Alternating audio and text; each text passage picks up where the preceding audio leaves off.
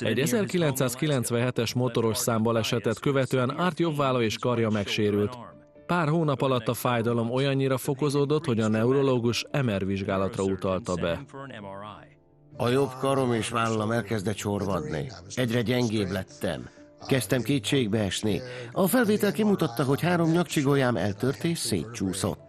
A gerincemen akkora nyomás volt emiatt, hogy a papírforma szerint tulajdonképpen nem is lehettem volna életben. Egy műtéttel a fájdalmakat valamelyest enyhíteni tudták, azonban új tünetek jelentek meg. A jobb lábamban és karomban érzéketlenség alakult ki. A végtagjaim bizseregtek. Az idegek is kezdtek elsorvadni, és hamarosan semmit nem éreztem. Minél inkább megijedtem, a félelem annál inkább fokozta a fájdalmat. Az aggodalomtól szinte gondolkozni sem tudtam, és a fájdalom is ilyen mértékben fokozódott folyamatosan. A problémák tetejébe a férfi több száz dologra allergiás lett. Az orvosok rövid lefolyású, a szklerózishoz hasonló idegsorvadással járó perifériás neuropátiát állapítottak meg, és mindössze két évet adtak neki. Árt félt, és dühös volt. Megharagudtam Istenre, és pereltem vele. Miért teszed ezt velem? Miért pont nekem van neuropátiám? Miért csak két éven van hátra, amikor én mindig téged akartalak szolgálni? A testvére akkor elmesélte, hogy akkor tűntek el a daganatok a melléből, amikor megbocsátott azoknak, akik megbántották. Amikor először mondta, azt gondoltam, ennél nagyobb sületlenséget még sosem hallottam. Hogyan segítene ez rajtam? De mivel kb. másfél éven volt hátra, hát belevágtam. Árt végig gondolta kiokozott sérelmeket neki az életében, megbocsátott apjának, aki elhagyta őket, amikor 12 éves volt, és Istentől is bocsánatot kért azért, hogy keserűséget és halálfélelmet engedett a szívébe. A félelem ellentétes a hittel.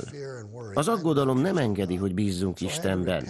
Meg kellett térnem, elhagynom a félelmet, és újra hitben járnom. Amikor újra hinni kezdtem Isten ígéreteiben, a fájdalmam is csökkent.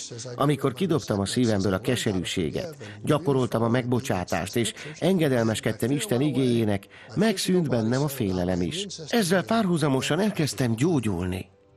Amikor újra munkába állt, híre ment a gyógyulásának.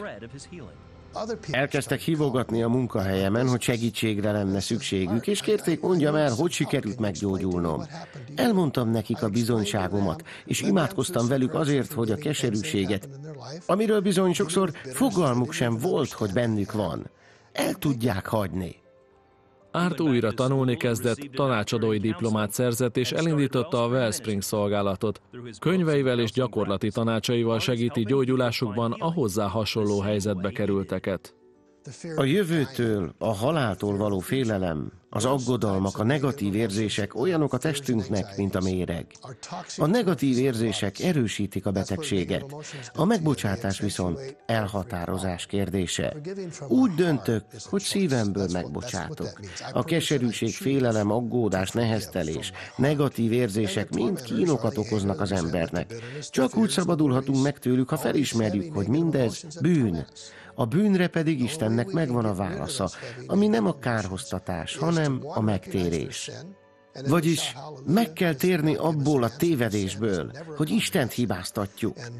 És ez megnyitja az utat az Úr gyógyító erejéhez. Évente több ezer gyógyulásnak vagyunk tanúi azáltal, hogy az emberek a megbocsátást választják. Vagyis a megbocsátás kulcsfontosságú. Árt szerint saját 15 éve történt gyógyulásának és az azóta mások életében bekövetkezett változásnak egyedüli oka Isten igének való engedelmesség és Jézus példájának követése. Száz százalékig egészséges vagyok. Az összes allergiától megszabadított az Úr. A jobb karom tökéletes, az izmaim is egészségesek. Ha nem értettem volna meg a Bibliából ezeket az igazságokat, és nem engedelmeskedtem volna, valószínűleg nem lennék már életben.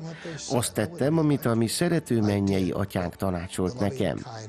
Hiszem, hogy az állította helyre az egészségemet, hogy ő szeret, és az, hogy engedelmeskedtem neki, hogy engedelmeskedtem az ő beszédének.